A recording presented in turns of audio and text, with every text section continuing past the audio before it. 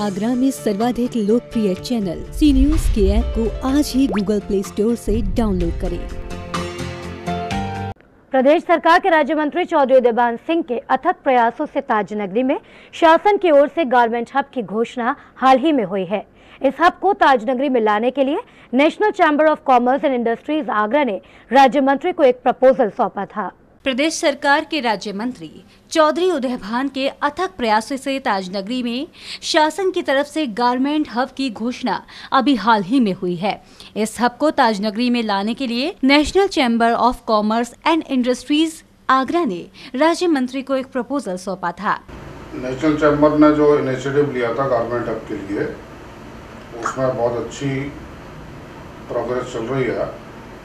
अभी पिछले हफ़्ते आयुक्त एवं निदेशक हथकरघा एवं वस्त्रोद्योग मंत्रालय ने एक लेटर यूपी जेडा को लिखा है कि 225 एकड़ ज़मीन गारमेंट हब के लिए अलॉट कर दी जाए।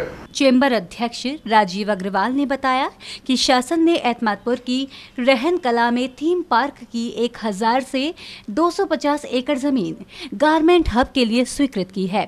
इस पर शासन स्तर से तेज़ी से कार्य कराया जा रहा है। जैसी की मांग नेशनल चैम्बर की है और इस कार्य को प्राथमिकता के से ही किया जाए।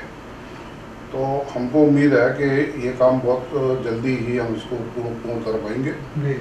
और जैसे भी प्रोग्रेस होगी वो आपको आगे की जो है बताएँगे। गारमेंट हब वाइट कैटेगरी के उद्योग की सूची में आता है। ताजनगरी में गारमेंट हब बनने से बेरोजगार लोगों को रोज़गार मिलेगा। सी न्यूज़ के लिए अजय बहादुर की रिपोर्ट।